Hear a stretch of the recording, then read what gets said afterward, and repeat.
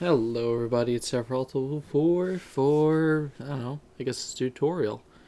I was thinking of making like a whole stupid production thing out of this. No.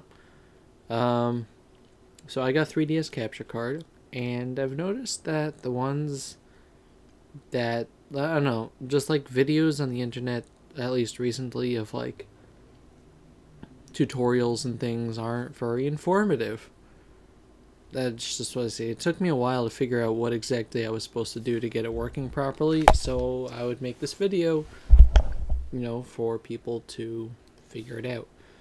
I'm recording the screen with Camtasia, but I don't really use Camtasia other than a few things. Uh, WavePad is recording my voice, which I like to do separately because that's just fun. Sorry, I have a my throat is stuffed.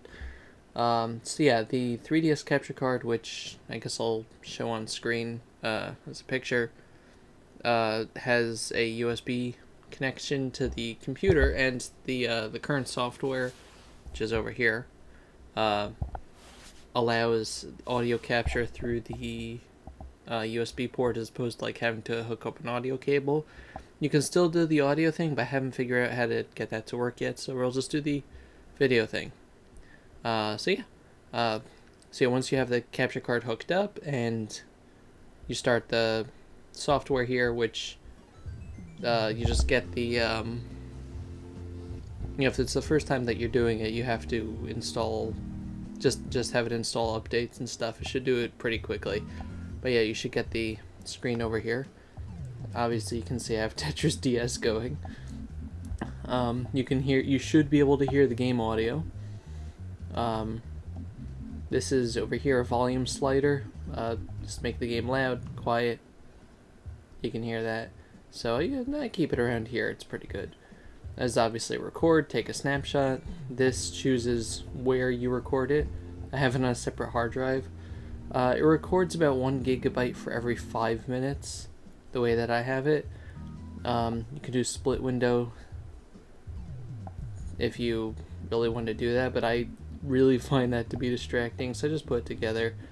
The you can resize the window, um, but it uh, scales. Like you can't make it an odd shape. It stays the same shape. But yeah, um, you go so for video settings. It's a very simple recorder. You can also use Fraps if you want to. But aside from the fact that Fraps I find is just worse quality than this, I've tested this out and I've tested Fraps out. Um, the file sizes are just huge. But yeah, there's a few video, a whole load of video codecs, um, just because of all the stuff I have installed on my computer. Uh, I really don't find anything wrong with Microsoft Video 1. I put the quality up to all the way there because why not? Uh, FPS is 30. I think that the games usually run like 29.98 FPS. I can never record only one or the other screen. I may as well record both screens because you usually have editing programs that could cut out one or the other anyway. Uh, the configured is just for the codec. I don't want to touch that. I honestly don't know about that, but it, it, this has really been fine for me. Uh, for audio, you see you have settings here. It just goes to a microphone. Uh, it doesn't go through speakers, which is weird. Uh, that's just how it is. So if you have it recording to any of these microphones, it will not pick up the game sound. I found this out when I test recorded. Uh, so you have to go to stereo mix, which, what the heck is stereo mix? That's a good question. You click control panel and you go to recording devices and you see I have stereo mix here. Normally it's disabled. I found that it was disabled on computers. You have to right click there, go to show disabled devices, and just go to uh, stereo mix, which would normally say disabled, and enable it. And you don't have to do anything special with that, it just has to be enabled. You press OK, you go here, you click stereo mix, you click OK there, and then you just hit the record button and it'll start recording. You see how seamless that was? Normally like the HD takes a few seconds. Don't just don't mind that. Don't don't look. Don't look.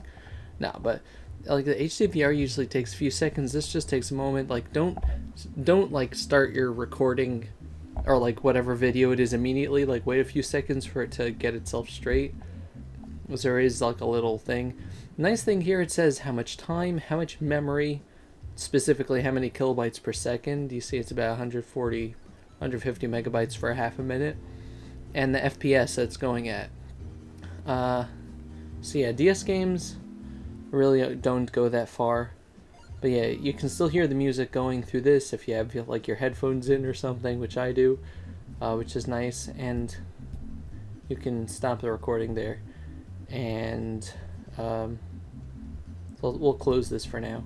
Uh, then you just go to whatever folder you have your recording in, just to make sure.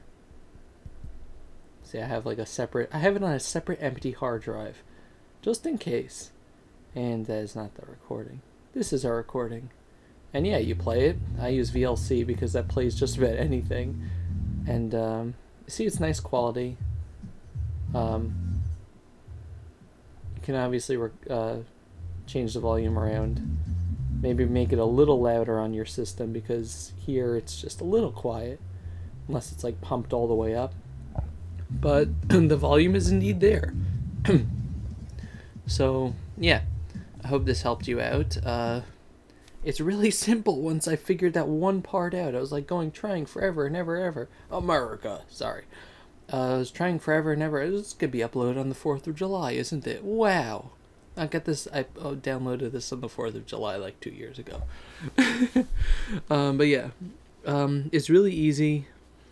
The, the set, the, the recording is just, is really easy. It's, uh, it's nice quality you know, you just set the volume a little higher. I mean, the worst that could happen is you set it all the way up. Well, I don't want to do that because sometimes the volume peaks, but like you set it really high and then you just lower it in editing. That's the worst that could happen, which, you know, isn't that bad. anyway, I hope this helped you out a little bit. Um, this might hopefully will save you a little bit of time of searching on the interwebs. And uh, yeah, this has been Sephiroth 4, and I'll see you guys later. Goodbye, everybody. Bye bye.